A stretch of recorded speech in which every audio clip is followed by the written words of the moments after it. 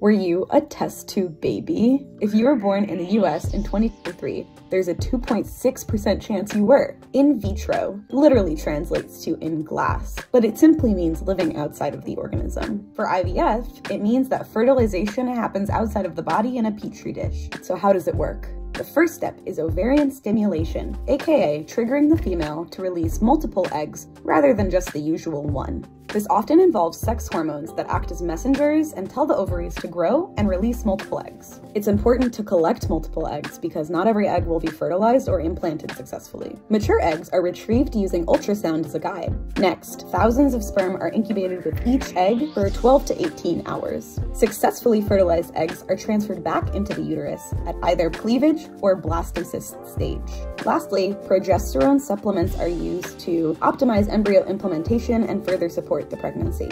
So, if anyone ever asks you, were you a test tube baby? You can tell them, actually, it was a petri dish.